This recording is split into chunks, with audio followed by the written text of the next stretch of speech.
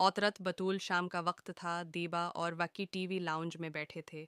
उनके पसंदीदा कार्टून शुरू होने वाले थे, मामा और पापा किसी रिश्तेदार की अयादत के लिए गए थे और दोनों को समझा कर गए थे कि लड़ना नहीं और घर से बाहर नहीं जाना।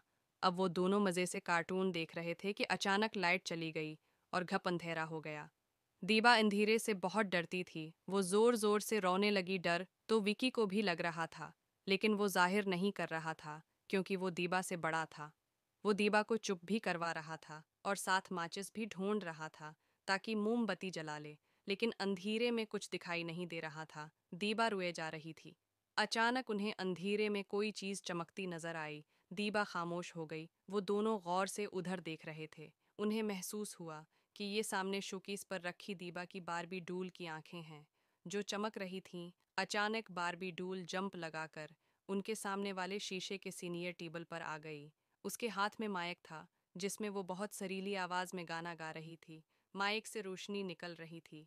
दीबा और वक्की खुश होकर तालियाँ बजाने लगे। उनका डर बिल्कुल ख़त्म हो गया था। जारी है। जैसे ही डूल का गाना ख़त्म हुआ, वक्की का खिलौना ड्रमर छलांग लगाकर आ गया और ड्रम बजाने लगा और साथ ही मक्की माउस भी आ गया। अब तो वक्की और दीबा बिल्कुल भूल गए कि वो अंधेरे में बैठे हैं। आहिस्ता आहिस्ता उनके सारे खिलौने शोकीस से बाहर आ गए और उनका दिल बहलाने लगे। फिर अचानक उन्होंने बांसुरी की आवाज़ सुनी। ये आवाज़ बहुत खूबसूरत थी।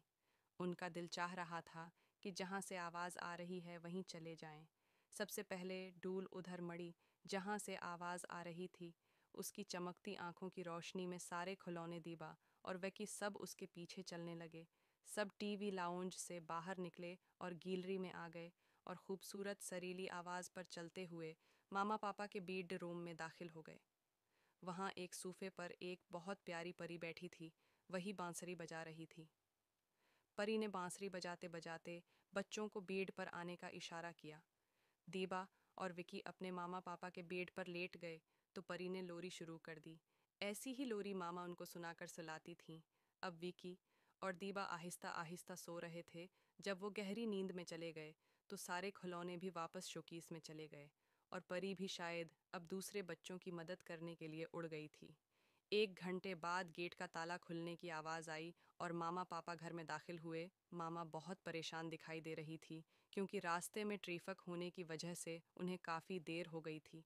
उन्हें दीबा का बहुत फ़िक्र था क्योंकि वो बहुत छोटी थी, अभी पल्ले ग्रुप में थी और अंधेरे से बहुत डरती थी। मामा को जब टीवी लाउंज में बचे नज़र नहीं आए तो वो बहुत तेज़ी से पूरे घर में ढूंढ रही थी। पापा, मोबाइल फ़ोन की टारच ऑन किए। साथ थे जब वो अपने बेड रूम में दाखिल हुए तो देखा, दोनों बच्चे सो रहे थे। इसी वक्त लाइट आ गई, मामा ने देखा कि बच्चों के चेहरे पर वैसी ही मुस्कुराहट है, जैसे उनसे लॉरी सुनने के बाद उनके चेहरे पर होती थी।